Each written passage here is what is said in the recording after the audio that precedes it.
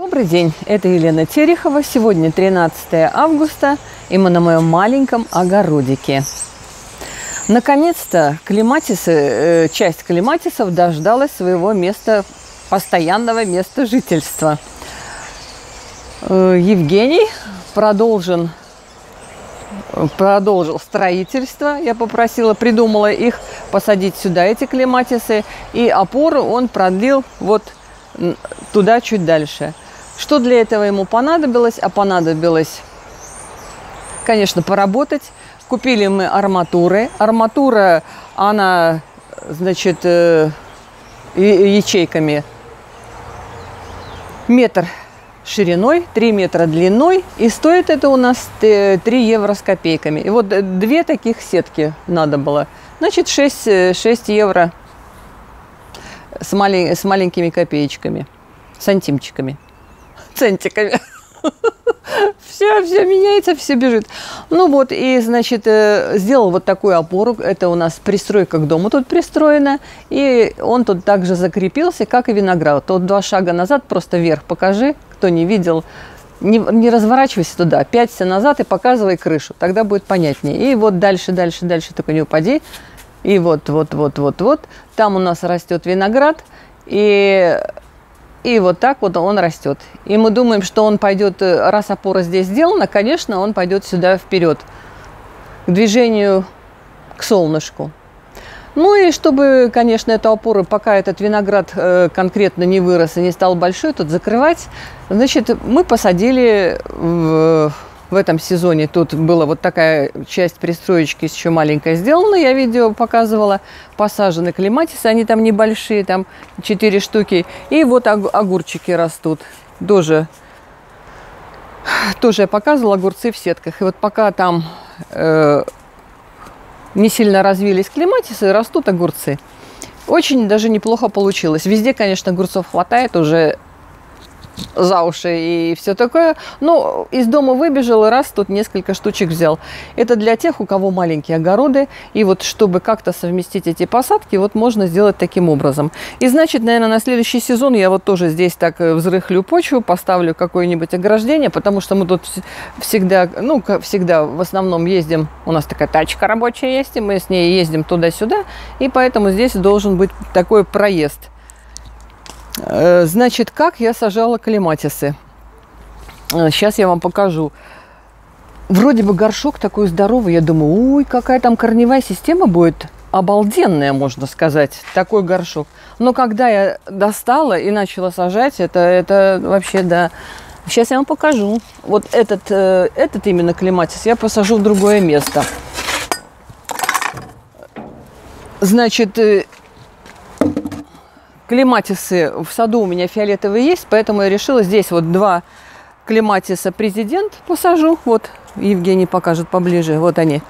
Два президентика посажено. Да? Потом один такой красненький. Красненький бордовый Эрнест Маркхам. И вот такой розовый еще. Мор э, Асао. Вот такой розовый будет. Здесь внизу, так, ладно, вот, вот сначала одно начинаю, потом отвлекаюсь на другое. Значит, продолжим с клематисом. Такой огромный горшок. Ну, шикарно. Сейчас будет там корневая система, наверное, вся бурлить и кишить. Сейчас посмотрим. Бывают намотанные... Э, намотан, замотан корень. Потому, поэтому надо всегда как бы посмотреть, что там есть. Что нам продали и что, что вообще там... Ау! Что там есть. Смотрим. Пол горшка нету. Посмотрите. И вот что мы имеем. Вот. Вот. Вот такой один маленький росточек, вот такой маленький корешочек. Видите, он был, видно, посажен в малюсеньком стаканчике, не стакан, формочке. И он там даже тоже замотан такой, э, кругом замотан чуть-чуть, немножко. Но вот это вот надо все аккуратненько, не бояться расправить, распотрошить, потому что видно, что он очень маленьком объеме рос. Просто его перед продажей, вот видите, корешок-то тут, одна вот такая хворостиночка маленькая в таком огромном горшке у нас стоит 7,99. Представляете, 7 евро 99. Но они посадили в большой горшок. Вот такой вот кажется, там корневая система такая хорошая. Ну вот, и, про, и продают. Но потом их никто по такой цене не брал, и они их уценили по евро 99 я купила. Поэтому обязательно всегда смотрите, что у вас в горшке, и, и разматывайте. Бывает вот так вот клубнем намотан, намотан просто корень, а бывает в агроволокне, э, вот, вот этот маленький этот стаканчик в агроволокне запрессован. Обязательно надо посмотреть, не бояться. И потом уже вы посадите, и растение начнет развиваться в полную силу, так как надо. Вот ну, пока я так его прикопаю, потому что там в огороде я еще не придумала конкретно, но уже наметила место, куда я посажу. Есть у меня там. Вот. И поэтому вот, вот таким образом. Вот такое растение. Теперь э, добавляла торфа, перемешивала землю, как вот э, точно так же, как я показывала, как я сажала гортензию, да, насыпала ведерко земли, э, торфика, перемешивала своей землей и потом делала посадку. Чуть-чуть полила, ну что тут.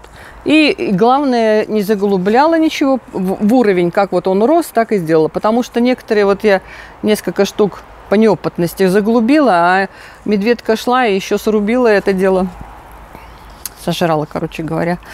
Ну ничего, я хочу сказать, от корня пошли росточки, все живо. Вот. Э, пришлось выдернуть тут несколько... Евгений говорит, да пусть они растут, эти патиссоны. Я говорю, нет, уж если убирать, так э, они не нужны там уже. Сняла патиссоны и это убрала. А для чего листья разложены? Это у нас котики, есть свои и приходят еще чужие. А когда свежее посажено, им же надо тут порядок свой навести, покопаться и все прочее.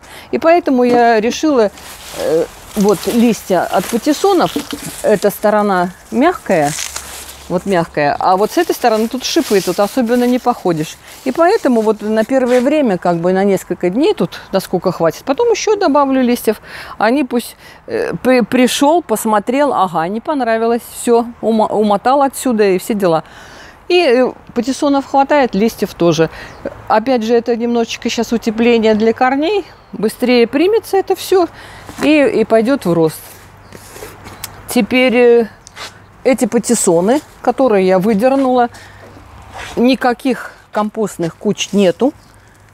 Это я уже не один раз повторяю. Просто ее даже и расположить особенно негде, чтобы она там была и, и, и там. И все, и это беру. Вот выдернула вчера. Уже вчера сил не было это все порезать. Вот так вот стульчик подставляю. Так, и вот таким образом тазик внизу, это здесь. И все это вот, так, вот такой вот салат идет туда. Так, что-то вот этот нож, конечно, не очень ты мне дал. Вот, вот это мой любимый, такой тоненький вроде бы, а он, вот посмотри, о, это мой ножик. Кстати, привезен давным-давно из России. Красота. И, и металл шикарный. И режет обалденно. Ну и вот и таким образом, нехитрыми такими движениями рублю салатик для э, зеленого удобрения. Спрашивают, как вы делаете зеленое удобрение. Везде, все везде в интернете есть, как это делается. Но тем, кто не знает, это просто собираются разные зеленые насаждения. То ли это крапива, то ли одуванчик. Э, ну вот все, что есть. Папоротник у меня есть. Какие-то другие растения – это чем хорошо в зеленое удобрение? Это не сорняк. Никогда у вас не прорастут никакие семена. Ну, хотя там все это перебраживает. И даже вот я тут э, говорила, что я листья там и все прочее заложу. Я заложила на удобрение на это зеленое. И даже не дожидаясь, когда она там сильно перебродит, я вот таким вот мутненьким раствором брала и э, удобряла свои растения, то, что мне надо было там.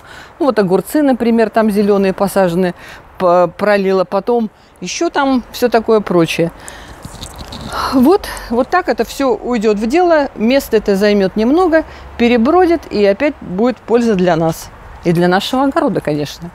Ну вот и продолжение маленького видео, как выглядят вот эти гортензии, которые я уже довольно-таки большими сажала. Я говорила, что я не буду снимать шапки цветов, обрезать, не обрезаю, пусть они подцветут.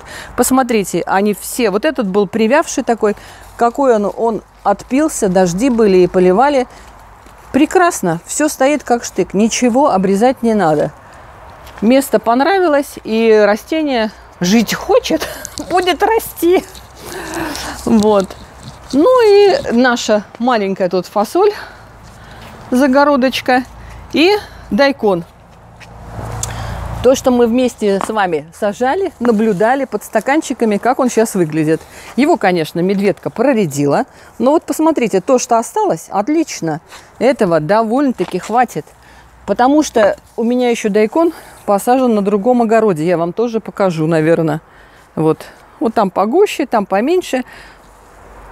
Ну вот столько, сколько есть, этого вполне предостаточно, потому что корнеплоды развиваются очень большие, крупные, и в принципе вот на еду, на семью этого вполне хватит. А что-то еще там пошел. А, салатик. Вот салатик уже все идет в цвет и на семена. И семена будут. Ну, там у нас кучки всякие сложены для закопки. Ну вот, на этом сколько нас минут накатали вашего времени? Сколько? 11 минут. Ну, я думаю, что вам хватит сегодня 11 минут, и нам хватит. Вашего времени надо тоже беречь. Все, до свидания. Всем всего наилучшего, здоровья. Сажайте клематисы и спасайте их от котов.